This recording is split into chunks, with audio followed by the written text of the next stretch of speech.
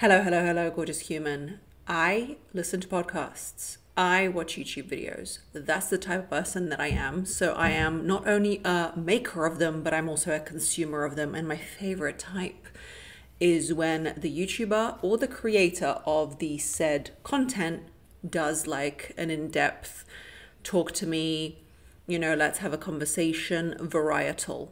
And that is what we're going to do today. I asked you on my Instagram to throw out a couple of personal questions. Some of them are going to be about me, my routines, all of those things. We're going to get deep and personal and meaningful. A lot of them are going to be on the topics that you are used to me talking about, like feminine energy and things like that, but it's going to be a little more intimate. And I've not looked at these questions as of yet, so we are going to delve into them together. How do you balance being a mom and now running all your social media accounts?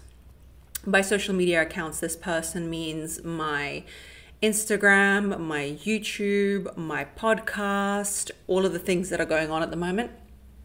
And the honest truth is, I think if hmm, I saw this piece of content today about the fact that if you think you can balance motherhood and work, and do it both at 100%, you are going to be sadly mistaken and disappointed. And I couldn't agree more. I think you cannot give 100% to both. Some of them will have to be less attended to. But I will say this for anyone who's considering becoming a parent or who is a parent, I have not created more, I have not been more productive, and I have not been more on the pulse as I have been since having my son three years ago and now being pregnant. I don't know whether it's because having a child gives you meaning, and I know that everyone who's not got a child just wants to smack me across the face right now, or whatever it is, but the reality is that for some people, and for me included, and I think that's because I had my children in my 30s, so just at the start of my 30s with my son, and now I'm going to have a daughter. I think I had the perspective of I need to do something amazing, or maybe it just aligned at the same time, but I definitely feel this level of motivation coming from having had him. I feel like I've got to be a role model in some ways. And I said when I didn't know the gender of my second child that if it is a girl, I feel even more pressure to do so. And everyone was like, why? What's the difference? But I genuinely feel like showing up as a woman in this world, all I've got to do is love my son. And it's his father's role to kind of show him how to be a man. But now I've got to show this girl how to be a woman in this world. And half of the time, as much as I read about it, learn about it, talk to you guys about it, we're all stumbling through it, aren't we? And some things I don't know what the right thing is to do, like social media and body image and all of these things that are just so difficult to address and so difficult to combat. I don't always know because we haven't lived through this. We haven't lived through the accessibility that we have to everybody online, measuring up against everybody. And I don't know how that's going to impact a young female mind. But yes, how do I manage it was the question. And how do I balance it? I don't balance it. I just, number one, I feel motivated by it. I feel motivated that I've got to show up as someone in this world. And I, my son goes to preschool three days a week. And in that time, I manage to create lists and to create goal setting and to create succinct flow in how I make these things happen. What I used to achieve in a in a week prior to having children, I now achieve in a day or half a day. For example, if I have a call with America, I have to schedule it at 6 a.m. my time before my son wakes up. Technically, time wise, I could do it at 8 a.m., I could do it at 7 a.m., I could do it at 9 or 10. But when he's up, there is no Zoom call that you're going to be having, my friend. There is absolutely no Zoom call. So you have to make sacrifices in timing, you have to make sacrifices in what fits into your life, and you just have to work with it from there. Is this pregnancy harder than your first? For those who don't know, again, I'm pregnant again. I'm about eight months pregnant, hence why if you can hear me laboring to breathe, this is the thing they don't tell you, ladies. It's like Christmas dinner. You've just had Christmas dinner. You've just had the dessert for Christmas dinner. You had the dessert after the dessert, the little bit of candy or whatever, and you can't breathe. That is the biggest feeling that I would describe like pregnancy to you like in the third trimester. You literally feel like I remember going to lunch with a friend of mine. She's like, "Wow, you're really not eating much. Like you should, you know, you should eat more because you know you're eating for two. I'm like, "Girl, I am trying to eat for two, but nothing fits. Like my stomach is here. I had a, a scan of my liver and all this stuff during my pregnancy because I was getting some stabbing pain, and they were scanning my chest. They were scanning my chest to see where my liver is. That's how much the baby's moved up. But is my pregnancy harder than my first? This pregnancy has ironically, and I don't know why, maybe my daughter is a kinder person than my son because he is a crazy boy, but um, I felt better. I don't know if I felt better because I'm busier, my mind is more occupied. I don't know if I felt better because I because genuinely hormonally between a girl and a girl there isn't much difference and with a boy i guess hormone shifts were different or I don't know whether it's because, I don't know, it's just my body now knows what it's doing. But I did have hyperemesis, which I have videos on my YouTube channel about. And if you want to look for that, just search my name and write HG, which is a severe form of sickness, which you just throw everything up. You can't even drink water. I had that, but it was better managed this time because I guess my healthcare providers knew that I'm prone to that fun, fun, fun thing. Are you going to take a break from work once you give birth? First of all, for all curious minds, I am going to have a C section. Why? Because I want some element of control. no, because I had a C section with my first son, Leo. And with this one, they recommend a C section again. I don't want to do all natural birth. I don't want any of that. I just want for something to be. I had the most peaceful, positive C section experience. It was almost um, zen and spiritual like. I think because my first pregnancy was so turbulent, I was so extremely sick. I was on IVs every three days because I couldn't drink or eat.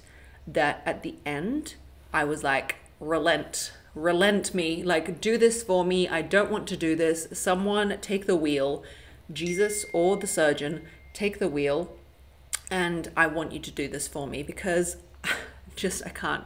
So, will I take time off? It having the, the idea, the fact that it is a C section is the premise that I'll have to stay in hospital for five days. Will you see me take that time off is a different story and probably not. I'm trying my hardest and damnedest to batch content. This video is probably going to be coming out, and this um, podcast is going to be coming out maybe end of November. I could have had the baby by then. We don't know. We don't know. Maybe I didn't, but I'm hoping you won't see any difference in content, but I am hoping I will be able to take two to three weeks off.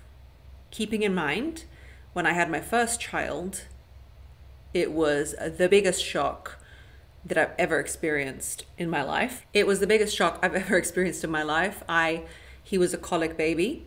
He cried 24/7. We couldn't go to a cafe, we couldn't go out it was COVID. I am excited to try a different experience with having a child. I'm genuinely excited about it. Like, I did not have a very normal, there is no normal, there is no such thing as normal in children or anything. But I'm hoping she'll be a reasonable woman. I'm hoping that she will, you know, sleep in a cafe. I'm always hopeful. I'm a hopeful human being. I always look forward to the, you know, the bright side of things and I want to do a non COVID post birth. Like I couldn't see anyone for six months. We were in lockdown. So it was very much trial by fire. Will you raise your daughter and son differently? It's a very it's a very interesting question because raising a daughter and a son differently, even if you don't want to raise them differently, you will have unsuspecting biases and ideas that you have in your head, even if you are the most oak parent and you just want to, them to be exactly the same, you don't even want them to know that they have gender, you will have biases that you don't know. They will come out in ways that you didn't even know they come out in. Like, for example, for some reason, when you were growing up, say you're female, your brother was mean to you or something like that, something will come out. It's not that you've got to tell them, like, boys don't cry or things like that. It's not going to be so obvious, but there will be biases. So I am mature enough to say that yes, I will raise my daughter and my son differently, but I'm not going to be sitting here and saying my daughter's going to fly in business class while my son flies in economy because men thrive and struggle. Even though I do believe that, and I don't believe that all men thrive and struggle and we should all throw them into struggle and then they will climb out of it heroic like the movie 300. No, I'm not saying that. And I also have beliefs that a man is not a child and a man is not a boy. So I'm raising my son with a lot of empathy, a lot of emotion. I'm there for him. I am constantly um, observing his his emotional state. I don't treat him differently than I would treat a girl, but there will come a time later in life that I know this world, and I believe masculine and feminine don't thrive in the same way.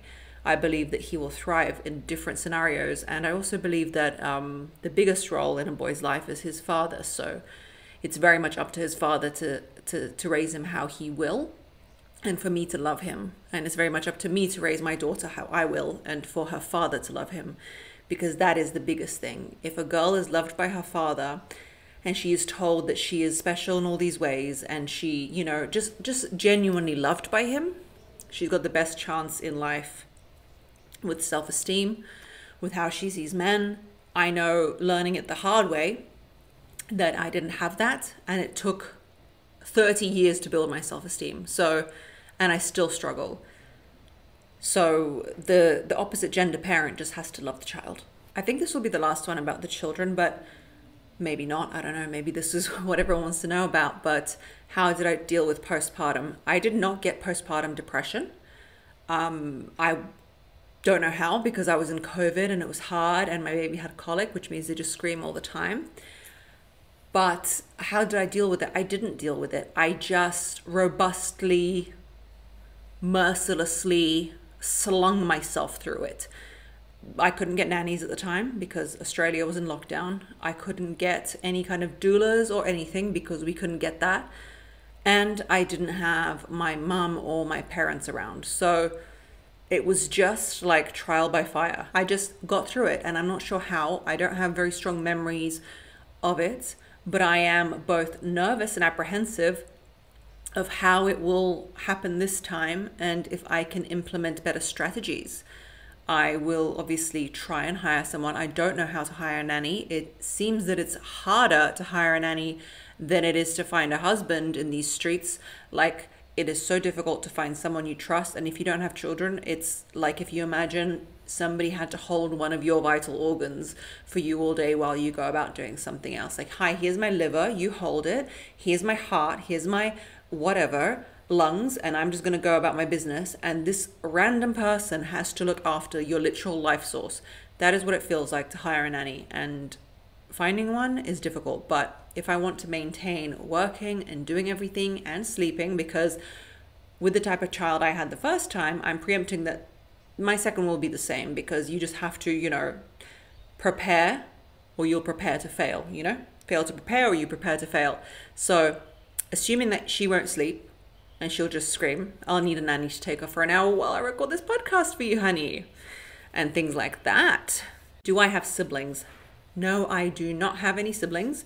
My mum had me and thought I did a perfect job and that is enough. No, I'm joking.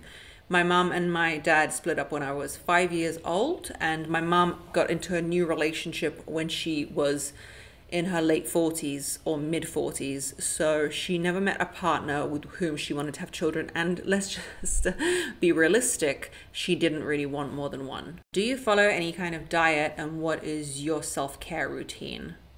The diet that I follow before this was the paleo slash keto diet. I found that it suits me so well to be on a high protein, higher fat diet because it's satiating and it made me feel good. Whereas a lot of people, I, I think it's so individual. A lot of my friends who have amazing bodies and amazing physiques thrive on a vegan diet, vegetarian, whatever it might be, high carb. Me, my body loves to burn fat or protein for fuel, and I felt my best. When I eat too many things and I really fall into this pattern quite easily where I start to eat like a pastry or this or that. And I know the recommended thing is like, eat what you want. Don't develop any kind of, you know, habits about this and that. Don't get too overwhelmed with it. But for me, I like rules. I like rules because I thrive in them, and I like structure because I thrive in that. Otherwise, I just get too messy and I, I don't know what's going on. So for me, a structure like I'm going to eat protein, I'm going to eat vegetables. I also include some berries and fruit. And I love dairy, I love protein meats, yogurt, fish, things like that. I really thrive on that. And essentially, if I was to summarize my beliefs in eating, is you should eat natural food and non-processed food. That's basically it. Things around that, like I can handle dairy, you might not be able to. And the ins and outs of that is very personal. But for me, that is the diet. Since being pregnant, it really throws me, and I hope my thyroid doesn't have a conniption like it did last time with my son. But I got hyperthyroid, which is the fast one. So people who talked to me, they didn't see me because it was lockdown, but people who talked to me after I had my son thought I was on some kind of Adderall or something. They thought I developed some kind of ADHD because my thyroid was so hyper. I was like twitchy, crazy, just insane. So, yes, I hope it doesn't do that, but I'm hoping to go back to a keto diet after my daughter's here. The reason that pregnancy really throws me though is because in my first three to four months, I can't eat or drink anything. And when you can't eat or drink anything, you don't care about salads, you don't care about protein, you don't care about anything.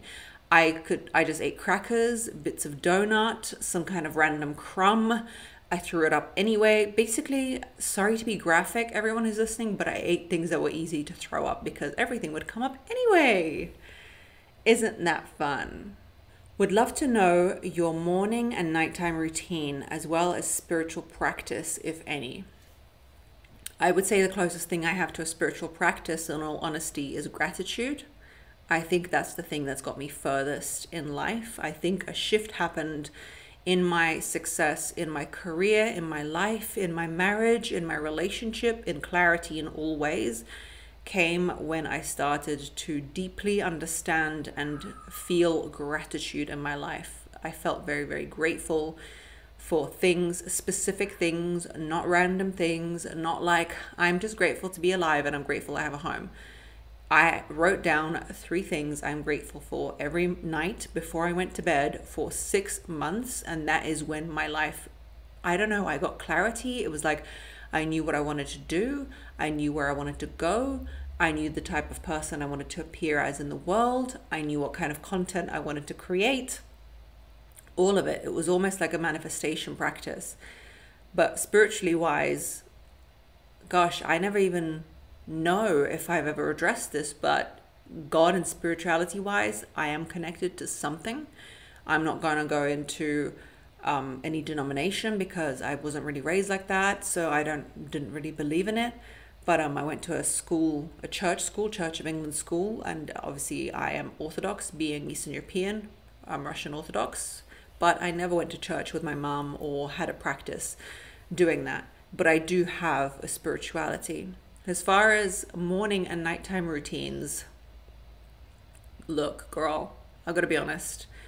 I had, I love listening to people's nighttime routine and morning routine, but every day with me is a little bit different. And I love when people come on and they say, My morning routine is no phone till 10 a.m.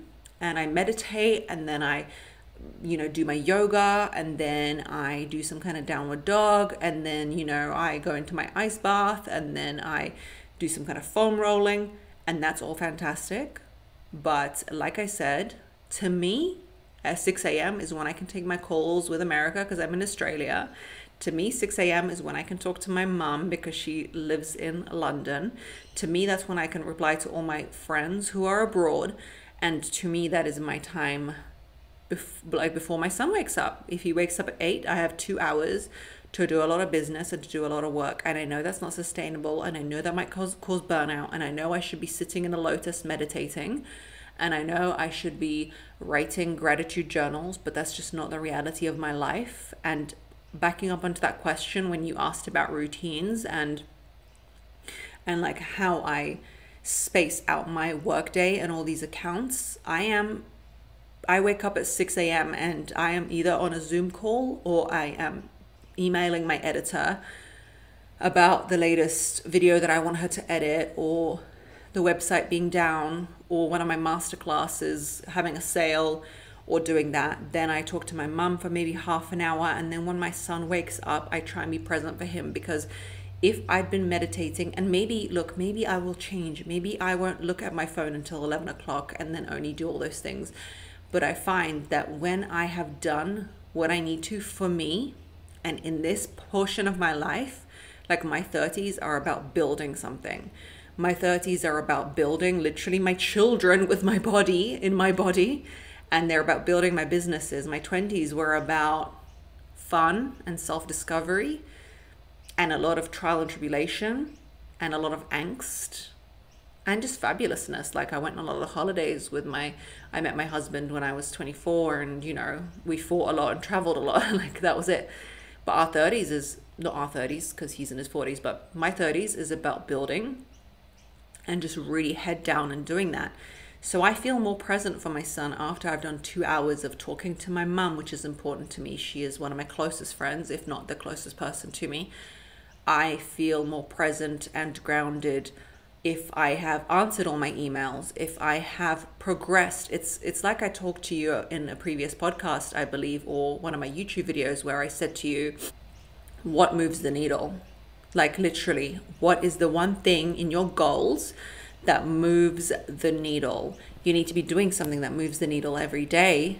It might be small, like if your goal is to grow your hair and that small goal is not washing it every day, then that is you moving the needle. That is you moving the needle every day. Okay, I didn't wash my hair today. And for me right now, I'm growing this podcast, I'm growing my community, I'm growing my child. And so if I feel I've gone onto my emails, I've put out some fires, I've planned a few things, I am more ready, I'm more present with my son.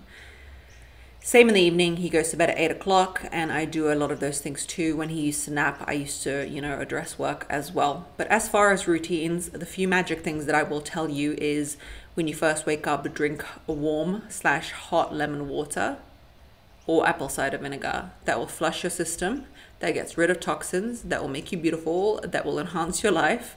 Do it. If you don't do it, you don't know. So do it. That's the first thing. I then always have a black coffee, and I'm normally on my emails in bed, um, having this lemon water. I didn't have lemons this morning, so it was just hot water, and I was like, my lemons are gone. And then I have a black coffee. It's always black. Even now, when I'm pregnant and I'm having decaf, it's just black coffee, no sugar. I hate additives. I hate additives and things in general. If I'm drinking, I'm drinking, I'm not talking about in pregnancy, but I'm just talking about additives. Like if I'm drinking, it's vodka on the rocks, it's tequila on the rocks. At best, it's a martini or it's a wine.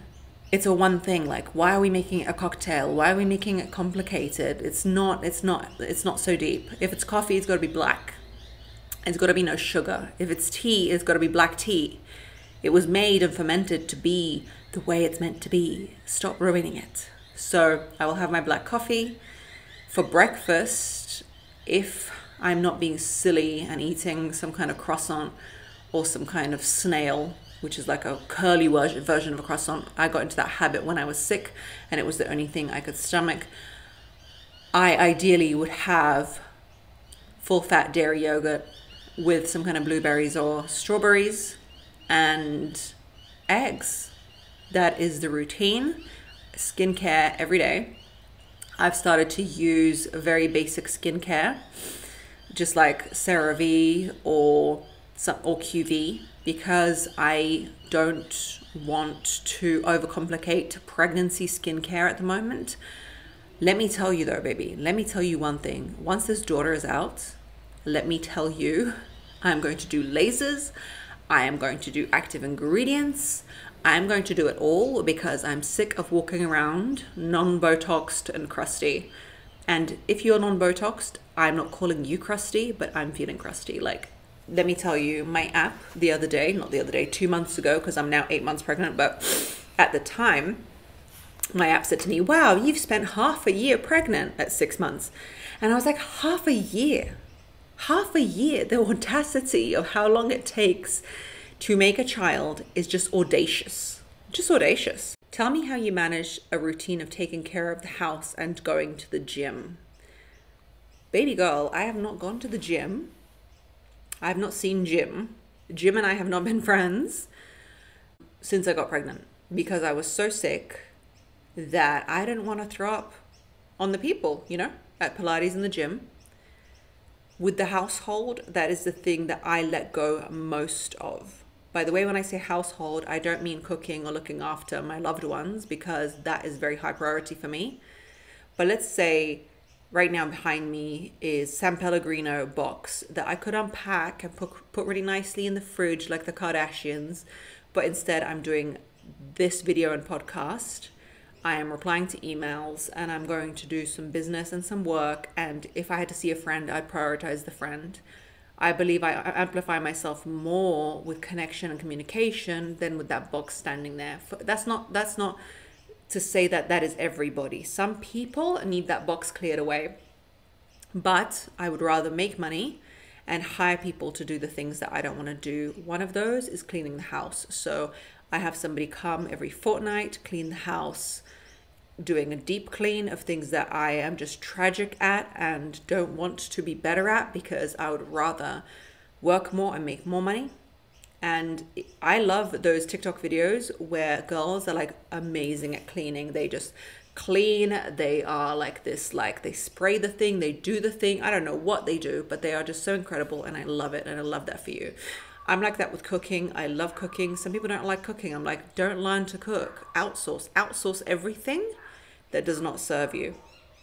But when I'm not pregnant, I did Pilates three times a week. And after I am not pregnant, I am really wanting to start weight training. I really, really want to give that a go because it really changes your constitution.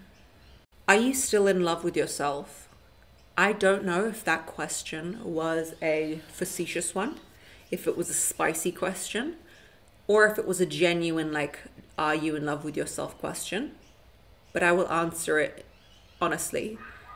And that is, I have tried to cultivate love for myself my whole life, and it is not easy. And am I still is the wrong phrasing because I guess the better phrasing would be have I found love for myself? And I'm working on it every day, baby girl. Like it is the thing, isn't it? I think love for yourself comes from actions that serve you. For example, doing the things you love for yourself like you would for a person you love. So I'm trying to show myself love every day. How did your relationship with you and your husband grow and develop, and how does he feel about you giving all the secrets away and blessing your other women with the secrets? Number one, my husband has never watched a piece of my content my husband is the most interesting person in terms of like he does not want to know other people's business. And i know this isn't other people's business this is literally his wife. But when i'm like don't you want to see what i'm talking about? He's like i've seen you talk around me often enough that i don't need to listen to your podcast. How does he feel about it? Happy for me because he thinks i have a lot to say and that i'm intelligent i guess is his what he says is his favorite quality of mine. Um, i don't believe him but, you know, he says it to be nice. And how has our relationship changed? We were butting heads and fighting the whole beginning of our marriage. I don't know what it is that inspired us to get together, but it was like this mutual attraction and knowledge that we have the same values. And now it's kind of ironed out because I am teaching people on my masterclasses, especially the polarity one, things that I learned.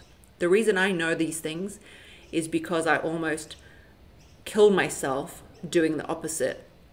I chased guys that I, I was not right for. I did all the wrong things. I had all the desperate energy. I had all the masculinity. And even with my husband, who was so into me, I almost pushed him away. So if you go onto my website, you will see the Polarity Masterclass. If you read about it, that's all the things that I learned, and that's how I shifted my life. So it's not just out of nowhere that I come up with it. It, it was a learning process of reading, doing my diploma in life coaching, and doing all these things that really shifted it.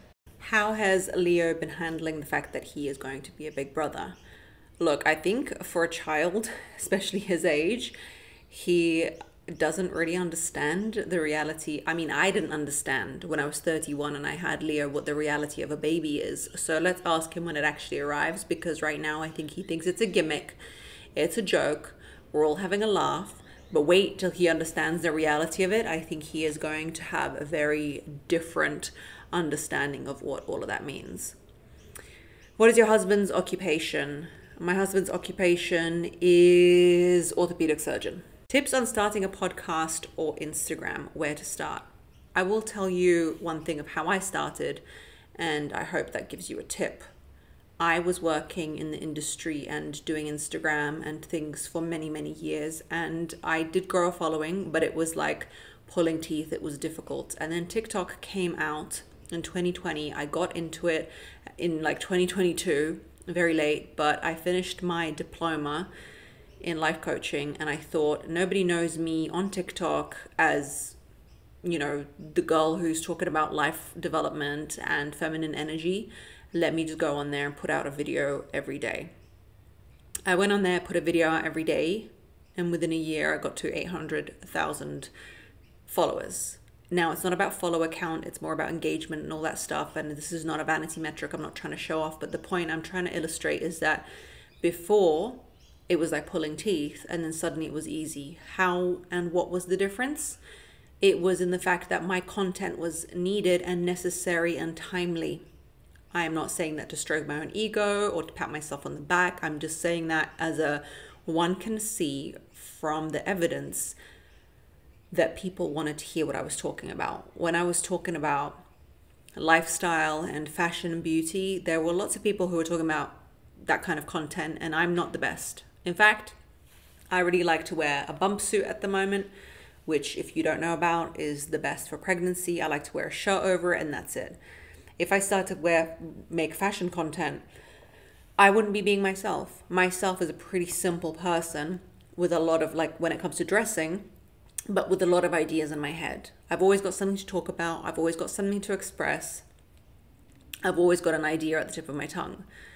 I'm always into self improvement. I want to help people do that.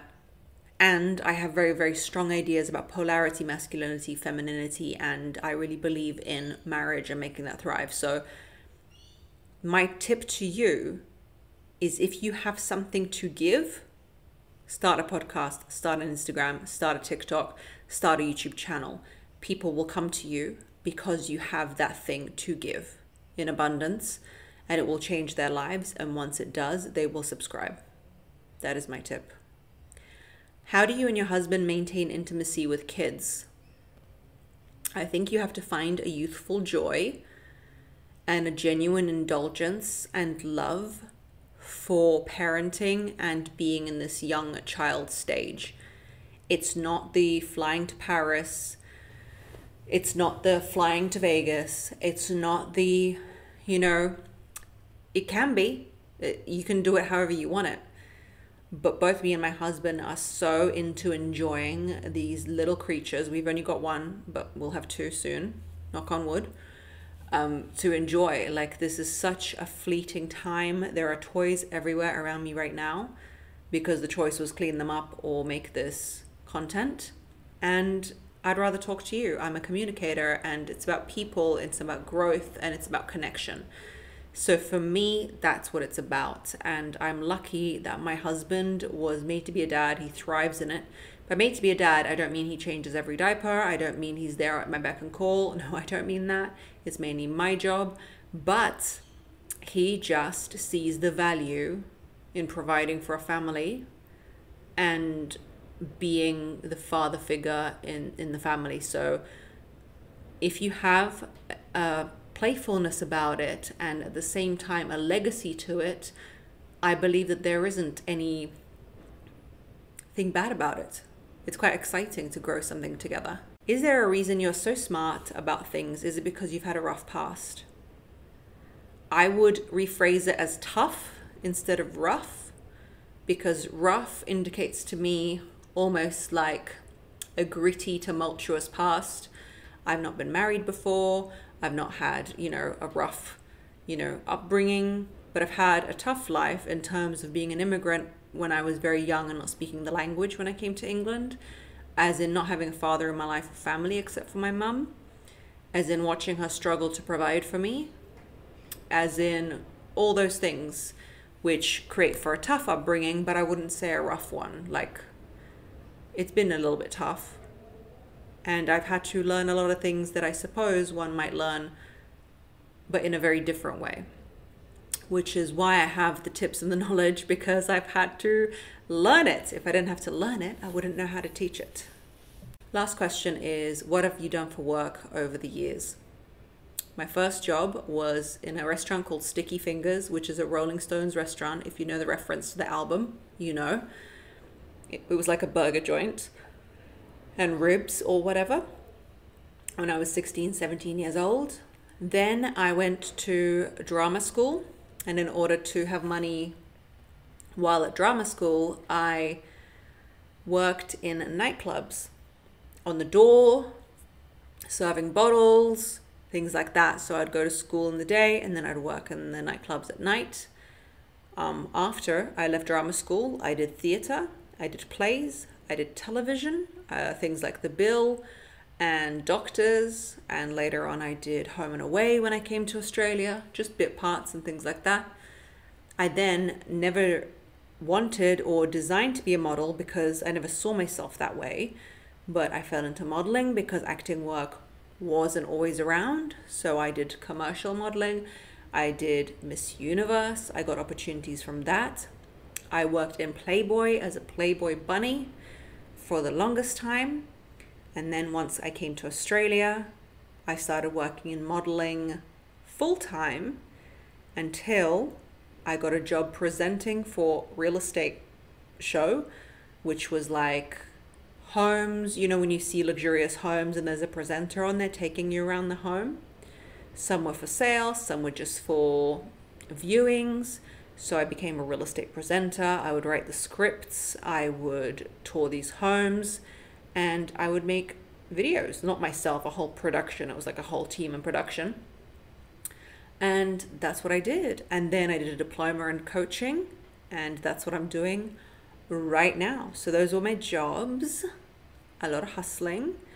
But like Steve Jobs said, there's a lot of dots that come together in order to make who you are now. But profession wise, I've got a bachelor's in arts. So yeah, thank you so much for watching. I lasted long enough to make to talk for 40 minutes. I hope it wasn't too laborsome to listen to me. Thank you so much for everybody who subscribes who likes, who gives a five star review, who is there because if you don't show up, it's hard for me to show up and you make it very easy. So thank you. I see you. I'll see you on the next one. Bye.